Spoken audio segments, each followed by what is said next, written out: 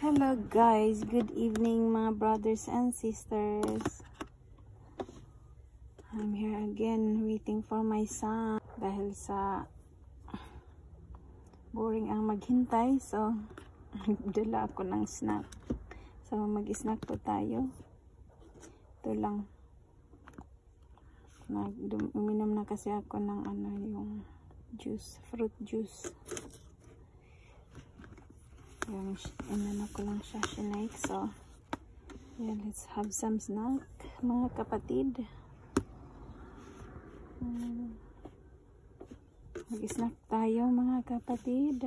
Ito lang cheese and bread. Mag snack tayo mga kapatid. Cheese, cheese and bread lang ang ating snack. And avocado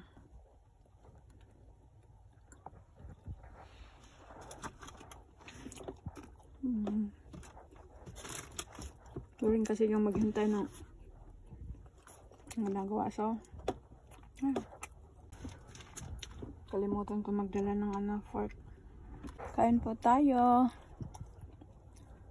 Kain po tayong lahat. The park.